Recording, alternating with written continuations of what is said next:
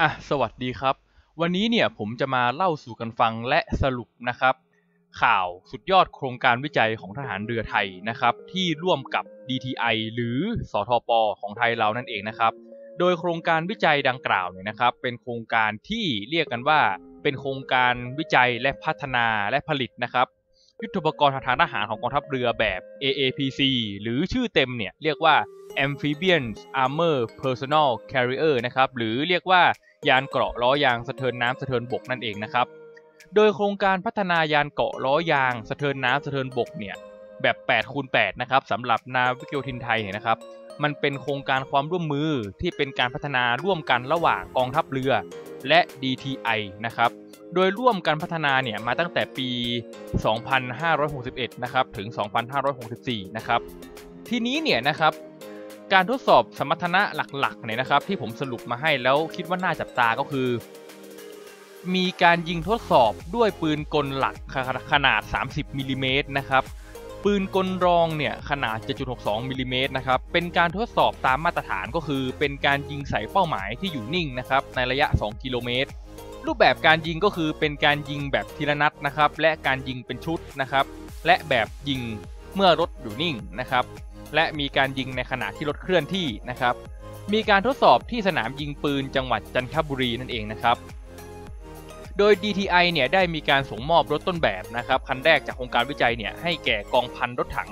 นาวิกโยธินกองทัพเรือไทยเนี่ยได้ทดลองใช้งาน 1 คันนะครับตั้งแต่ปี 2018 หรือว่าปี 25 2561 ที่ผ่านมานะครับ และกองทัพเรือไทยเนี่ยก็มีแผนนะครับคาดว่าจะจัดหายานเกราะล้อยาง AAPC รุ่นนี้เนี่ยนะครับจำนวนประมาณ 5 คันนะครับหรือราว 1 หมวดนั่นเอง โดยคาดว่าจะมีต้นทุนการผลิตนะครับ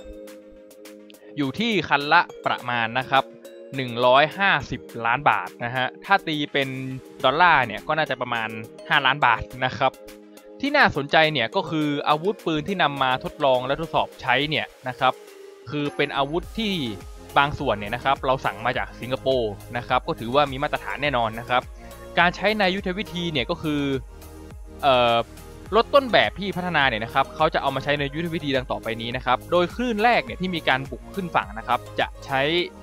รถสะเทินน้ำสะเทินบกแบบ AAV 7A1 นะครับที่ได้รับการปรับปรุงความทันสมัยโดยบริษัทชัยเสรีไทยนั่นเองนะครับ และใช้ร่วมกับยานเกราะโจมตีสะเทินน้ำสะเทินบกรุ่น VN16 นะครับ และ AAPC 8คูณ8ที่ DTI กับกองทัพเรือร่วมกันวิจัยเนี่ยนะครับ จะถูกนำมาใช้ในการยกพลขึ้นบกเป็นคลื่นที่ 2 หรือ second wave นะครับ ก็เรียกได้ว่าเป็นอีกยุทธปกรณ์หนึ่งที่จะมาเสริมสร้างเขี้ยวเล็บหรือความแข็งแกร่งให้กับกองทัพเรือไทย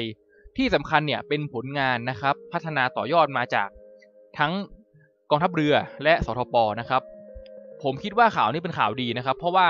ในปัจจุบันเนี่ยถ้าใครตามข่าวมันเนี่ยจะเห็นได้เลยว่าหลาย ๆประเทศนะครับไม่ว่าจะเป็นประเทศขนาดเล็กขนาดใหญ่นะครับในทางทหารเนี่ยเขาล้วนมีวิสัยทัศน์ที่ตรงกันก็คือ จะเน้นลดการพึ่งพานะครับและเน้นการผลิตและวิจัย พึ่งพาตนเองในประเทศให้ได้มากที่สุดนะครับใครจะไปรู้นะครับ ถ้าอนาคตเราสามารถผลิตได้เป็นจำนวนมากแล้วเนี่ยอาจจะเป็นสินค้าในการส่งออกเพื่อหารายได้ให้กับประเทศเราอีกทางหนึ่งก็ได้นะครับ เนื่องจากว่าอุตสาหกรรมป้องกันประเทศนะครับ โดยเฉพาะในพื้นที่เอเชียตะวันออกเฉียงใต้ของเราเนี่ยหรือโซนอาเซียนเนี่ยนะครับมีการเติบโตที่ดีนะครับและมีความต้องการสูงนะครับ เอาละครับก็เจอกันใหม่ในวิดีโอหน้านะครับ เดี๋ยวผมจะแนบลิงก์ข่าว Facebook นะครับเอาไว้ให้นะครับสำหรับใครที่ต้องการอ่านข่าวเพิ่มเติมนะครับ แล้วก็หากมีข้อมูลตรงไหนที่ผิดพลาดประการใดนะครับ ก็ขอโทษไว้ณที่นี้ แล้วก็ยินดีรับฟังความคิดเห็นเพิ่มเติมนะครับคอมเมนต์มาได้นะครับ หรือว่าอยากให้ทำวิดีโอเกี่ยวกับโครงการไหนก็คอมเมนต์มาได้นะครับ สวัสดีครับทุกท่านครับ